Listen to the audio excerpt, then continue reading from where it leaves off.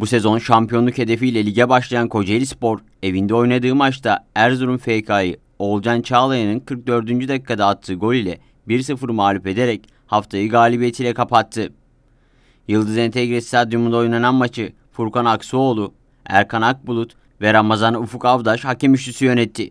Kocaeli Spor maça Gökhan Değirmenci, Ahmet Oğuz, Tarkan Serbest, Apından Goye, Muharrem Cihan, Josip Vukovic, Pedrinho, Ryan Mendes, Barış Alıcı, Oğulcan Çağlayan ve Marka 11 ile başladı. Erzurumspor FK ise maça Mehmet Göktuğ Bakırbaş, Mustafa Akbaş, Mustafa Yumlu, Süleyman Koç, Sefa Akgün, Odise Rossi, Giovanni Corisata, Orhan Ovacıklı, Celal Hanalp, Eren Tozlu ve Tony Tavsev 11 ile başladı.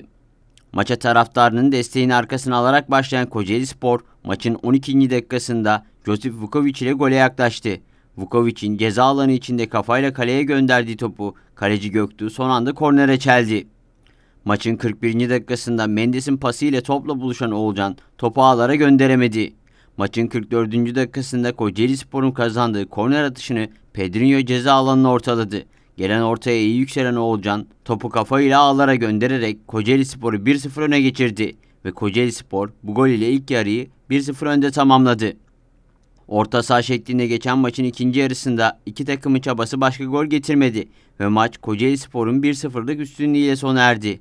Maçtan 1-0 galip ayrılan Kocaeli Spor, ligde oynadığı 3 maçını da kazanarak puanını 9'a çıkarttı.